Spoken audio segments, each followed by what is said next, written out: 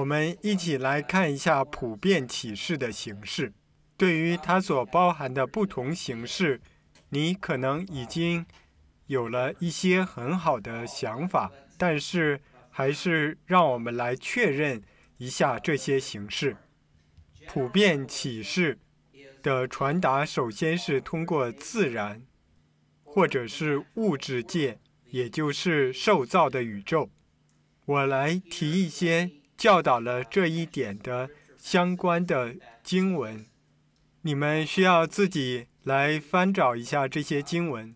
有些经文是一下子就可以看出是讲这一点的，《罗马书》的第一章第十九节到二十三节，这处经文教导人们是可以认识到一位上帝。透过他所创造的宇宙中的事物，诗篇十九篇一到六节说：“诸天述说神的荣耀，穹苍传扬他的手段。”经文继续讲到上帝临在于这个受造世界中的证据。其他与这个概念相关的经文有诗篇的第八篇。第一节和第三节，约伯记第十二章第七节到第九节，以赛亚书第四十章第十二节到十四节，还有还有第二十六节。重复一下，是以赛亚书。第四十章十二到十四节，还有二十六节。最后一处是希伯来书第一章第十节。这可能是我们马上会想到的自然启示的形式，当我们想到它的时候，但这并不是唯一的形式。圣经也向我们展示。自然启示的另一种形式，就是人自己，人自己的存有和组成。在这里，我想提一下几处的经文。第一处经文讲到人类的良知，《罗马书》第二章第十四到十六节。保罗说：“通过良知，人类可以判断是与非。”《使徒行传》的第十七章第二十八节到第二十九节，我相信保罗当时在雅典的马尔斯山上，他想表达的是。当你审视你自己的时候，并且你意识到，并不是你自己创造了自己，而是其他人，你这时就应该意识到，那位创造你的至少是和你一样伟大和有能力的。当然，保罗向他们指出的那位创造我们的。就是神，所以保罗在雅典，他想表达的是：当我们看到自己的本质是人的时候，那么那位创造我们的，就不可能是比我们更低等的存在。更有可能的是，那位创造我们的，是比我们更伟大的。你不需要通过读圣经来理解到这一点，你通过思考人类的本质和你是如何来到这个世界，以及对创造你的那一位，这表明了什么，就可以明白。我们再来看一下一处旧约的经文，我把它放在最后，是因为这一处经文可能并不像其他两处那样直接表明这一点。但是你仍然可以在以赛亚书第二十九章十六节中发现，最基本的观点就是，受造之物是可以推断到他的创造者的。这似乎就是这一处的经文在这里要教导的。所以，我们有从自然和物质世界而得来的普遍启示，也有从人的存有和构成得来的。第三，普遍启示也可以通过上帝护理的工作得着。在这一点上，我想指出具体的两件事。第一点是，我们可以看到上帝护理的工作，通过受造界秩序的被维持。我想很多人他们经历每一天的生活，但是却从来没有反思过一件事。就是他们有空气可以呼吸，但是在其他的星球却没有。为什么我可以有空气呼吸，而且是源源不断的？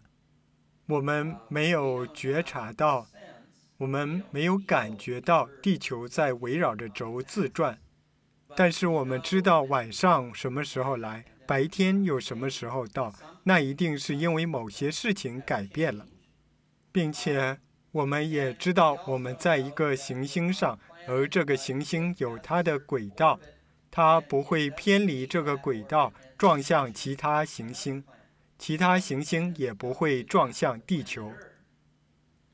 我认为不会有很多人在他的某一天生活中花很多的时间。来思考说，我应该意识到我可以呼吸这个事。我生命中的每一刻都表明了，神创造了这个特定的世界，我可以在其中生存和成长，并且它维持着这个世界。而行星不会脱离轨道撞向其他的星球，是。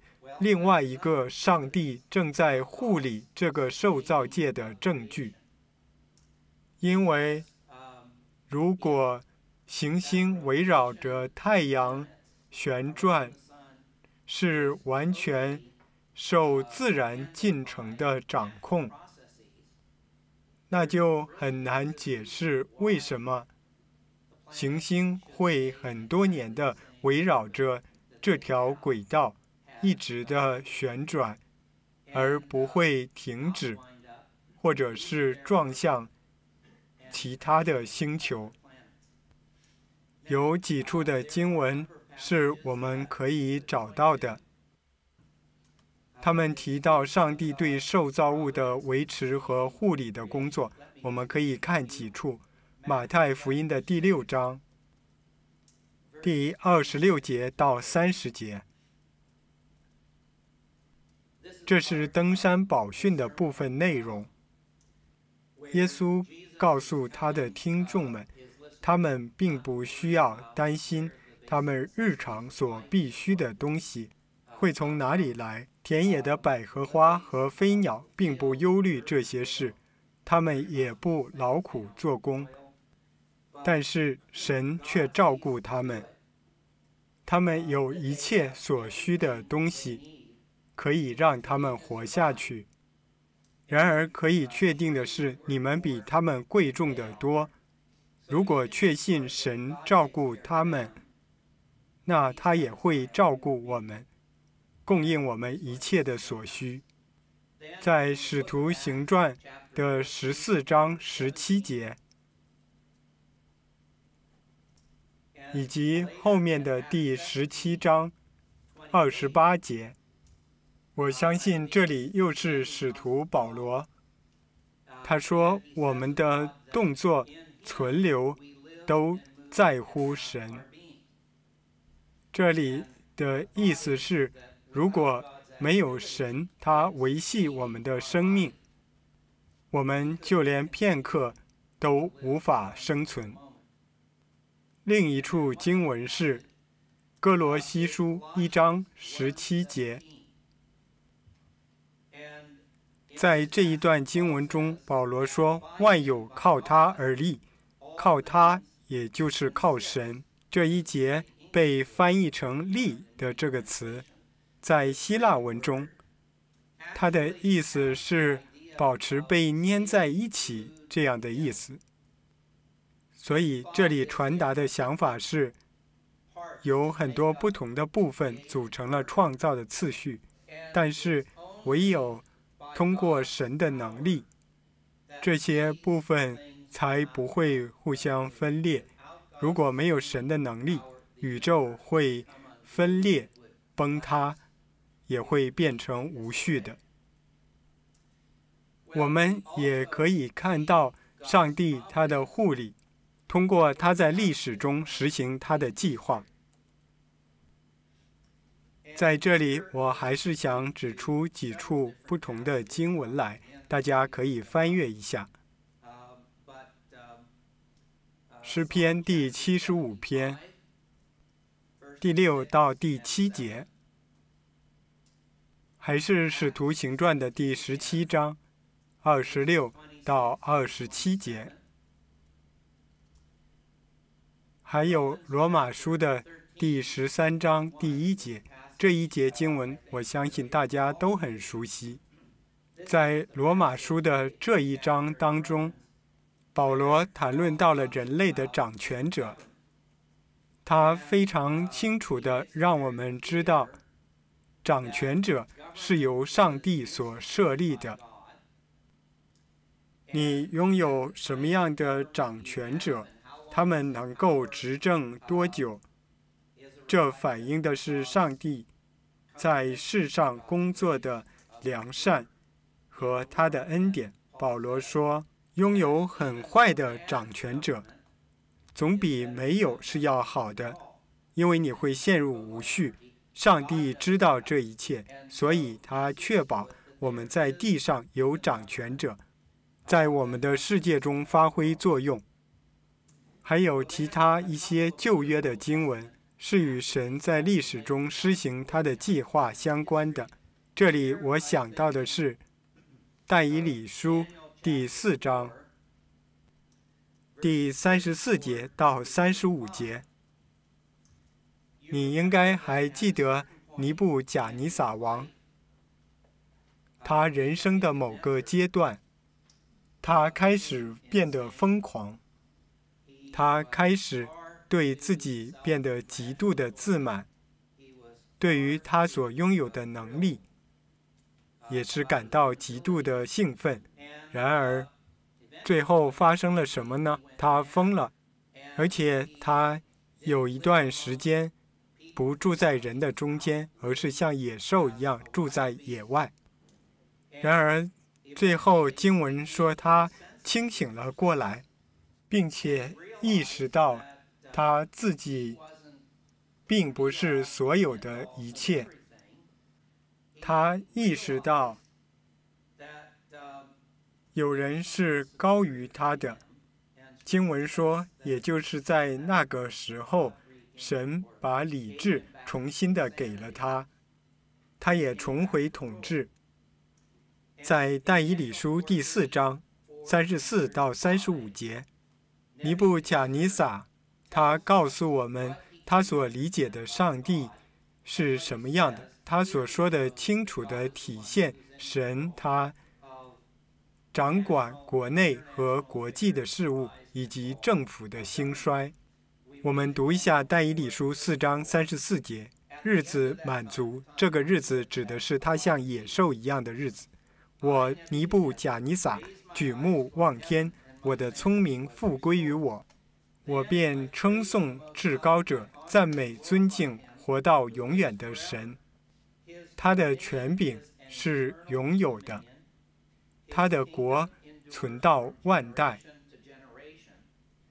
世上所有的居民都算虚无，在天上的万军和世上的居民中，他都凭自己的意志行事，无人能拦住他手或问他说：“你做什么呢？”你们可能会说这只是尼布贾尼撒个人的观点，但是。圣经中没有地方显示出尼布贾尼撒他所说的是错误的。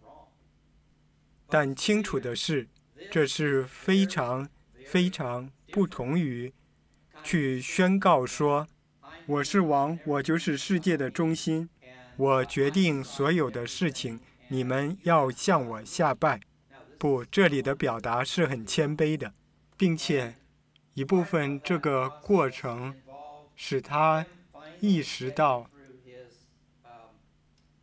自己并不是。他并不是世界的中心，神才是的。还有一处的经文，这处经文有一点不同，在旧约哈巴古书的第一章，从第一节一直到第二章的第二十节。你可能会说，我并不经常的读哈巴古书。但我的确读过，我不知道这卷书和神在历史中施行计划有何关系。在这里，我想要表达的一点是，这卷书表明，尽管不义的人他们会兴旺，兴旺一段的时间，上帝他会来对付他们。是在末日终极性的，是更严厉的，比起那些少作恶的人所要面对的。那这和神在历史中施行他的计划有何关联呢？这表明存在一位道德管理者，他参与到人类的事物当中，并且当那些。恶人靠着欺压，在社会当中没有权利、没有话语权的人而兴旺发达时，神他都知道。上帝将这些都记录着。上帝将确保那些邪恶的、靠自己的地位在这个世上谋取利益的恶人，将会得到审判。要比那些行为没有那么邪恶的人受到更严厉的惩罚，所以，上帝确实对这个世界有公义的道德的治理，在整个的人类历史和所有的人到达终点之前，上帝将会审判。和惩罚那些罪有应得之人。作为一个完全免费的项目，您爱心的奉献对于 TVS 施工的完成至关重要。我们需要您慷慨的支持与同工。获取更多信息，请访问 TVSeminary.com。